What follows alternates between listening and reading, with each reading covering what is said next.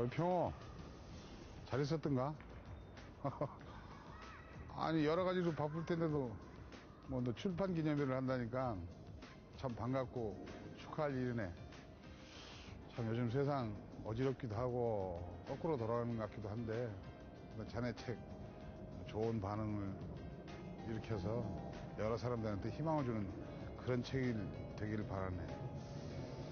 또 자네가 평상시에 갖고 있던 꿈을 어, 좀 실현할 수 있는 그런 기회가 오지 않을까 하는 그런 생각을 가지는데 음, 이번 책을 출간하면서 자네 그런 꿈을 잘 실현할 수 있는 그런 기회가 됐으면 하는 바람이네. 평상시에 어, 고향 후배로 또 절친한 동생으로 가깝게 지냈는데 음, 자네가 하고자 하는 일에 좋은 일만 있기를 멀리서나마 빌겠네. 남평호 잘 될 거네. 어이, 잘 왔어, 어이.